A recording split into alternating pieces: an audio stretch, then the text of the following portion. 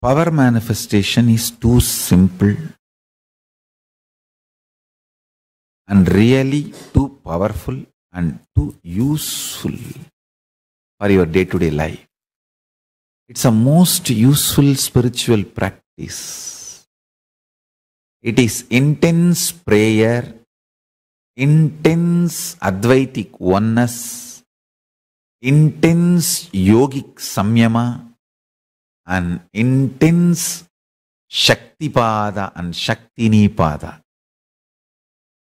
All put together, I have given as one method power manifestation. Just three things. Listen, Paramashiva is inside you, cognize it. And he is endless resource. And he is waiting to manifest for you. And you just need to connect with him, declare your integrity to him, and make Satya Sankalpa. That's it. That's it.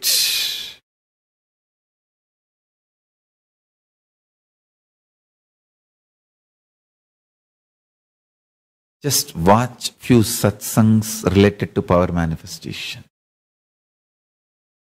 See how I had initiation from Arunagiri Yogishwara, from Nerur Sadasiva Brahmendral, from Mahavatar Babaji. All those stories, just read. How I had initiation from Annamalai Swamigal, Isakki Swamigal, Raghupati Yogi.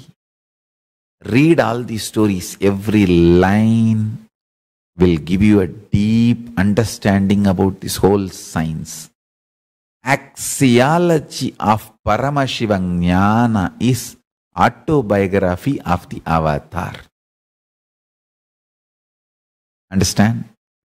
Ontology of Paramashiva Jnana is Nitya Satsang. Every day, Nithyananda tea.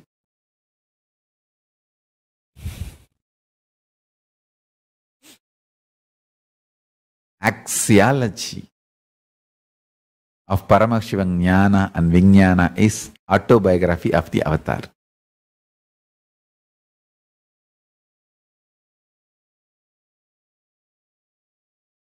If you read how I had initiation from my masters, you will simply have initiation.